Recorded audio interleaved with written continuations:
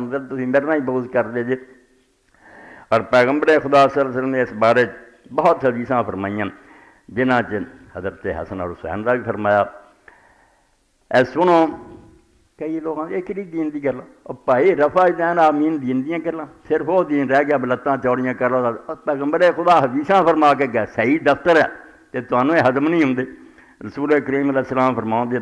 ਮਨ ਅਹੱਬ ਹਸਨਾ ਵਲ ਹੁਸੈਨਾ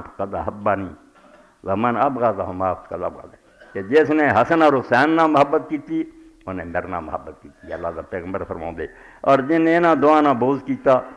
उन्हें मेरे ना बोझ किया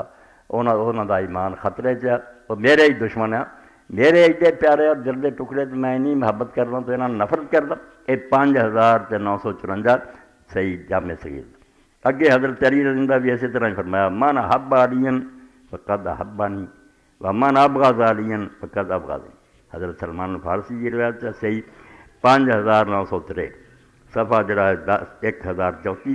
जैन अली ना मुहब्बत की उन्हें मेरे ना मुहब्बत की और जैन अली ना बोझ किया उन्हें मेरे ना बोझ किया हज़रत फातमा रज़ी अल्लाह फरमाया एक हदीस पाक को भी मुतवातिर फरमाया अल हसन वल हुसैन सईद असबाब अहल जन्नत जन्नत बहुत लोग जाने हैं मगर जन्नत के सारे जवानों के सरदार हसन और हुसैन होने ਔਰ ਨਾਲ ਇਹ ਕਿਹਾ ਬੇ ਬਾਬੂ ਹਮਾ ਖੈਰ ਮਿਲਣਾ ਇਹਨਾਂ ਦਾ ਬਾਪ ਇਹਨਾਂ ਦੋਹਾਂ ਨੂੰ ਵੀ ਆਲਾ ਹੋਣਾ ਇਹ ਜੰਨਤ ਦੇ ਜਵਾਨਾਂ ਦੇ ਸਰਦਾਰ ਨੇ ਤੇ ਬਾਪ ਦਾ ਦਰਜਾ ਇਹਨਾਂ ਤੋਂ ਉੱਚਾ ਔਰ ਨਾਲ ਫਰਮਾਇਆ ਕਿ ਅੱਲਾਹ ਦੇ ਫਰਿਸ਼ਤੇ ਮੈਨੂੰ ਦੱਸਿਆ ਫਾਤਮਾ ਤੋਂ ਸਈਦਾ ਤੋਂ ਨਸਾਇਆ ਜੰਨਤ ਤੇ ਫਾਤਮਾ ਜੰਨਤ ਦੀ ਔਰਤਾਂ ਦੀ ਸਰਦਾਰ ਹੋਣੀ ਇਹ ਚਾਰ ਜਿਹੜੇ ਨਾ ਕੰਬਲ ਜਿਹੜੇ ਆਏ ਸੀ ਫਾਤਮਾ ਅਲੀ ਹਸਨ ਹੁਸੈਨ ਇਹਨਾਂ ਦਾ ਮਰਤਬਾ ਜੋ ਹੈ ਨਾ ਸਾਡੇ ਕੋ ਹਦੀਸ ਦੇ ਦਸਤਰ ਬੇਦ ਹਦੀਸ ਕੋਈ ਕਾਬਲ ਇਤਬਾਰ ਦੇ ਇਹਨਾਂ ਨੂੰ ਆਦਮੀ ਨਜ਼ਰਅੰਦਾਜ਼ ਨਹੀਂ ਕਰ ਸਕਦਾ